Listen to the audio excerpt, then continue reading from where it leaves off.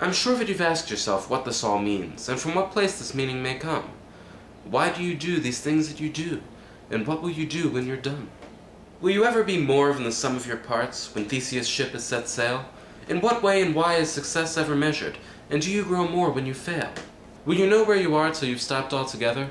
Will Schrodinger's cat be alive? Could you learn even more when you learn without aim? Is inquiry greater than drive? Are the things you don't have what define you in life? Are you more than you have to defend? When you're granted existence without need to fight, will that be the ultimate end? Do the questions mean more than the things that you know? Have you faith in the God of the gaps? Will you find true relief from the stress and the tension when all your mind finally snaps? Can truth still have meaning when open to all? Do you trust in the things you can't see? Where will life take you whenever you get there? What have you wanted to be? What school of life do you call education? What have you wanted to learn? And why do you seek it wherever you do?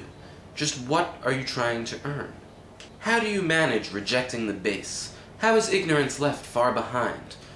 And when it's discarded and knowledge remains, just what are you hoping to find? Will you still find more truth as you sift through the rubble, when all your life's work takes a fall? If joy is illusion and love just distracts, then what do you want after all? What do you feel more for the beautiful people, enchantment or mounting disgust? And where, if so why, does the mind draw the line?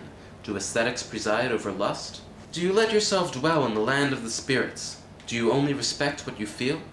And if you feel something beyond the five senses, does that make it any less real? Where do you go when you start to grow tired? And when you're there, what do you seek? Who do you talk to, where, why, and when? And what do you say when you speak? Wherever you journey, whatever you do, if you preach, meditate, or explore, when the cycle completes and the end comes twice over, still will these questions endure?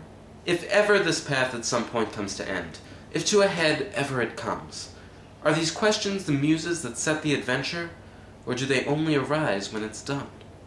And that's not a rhetorical question, I expect an answer.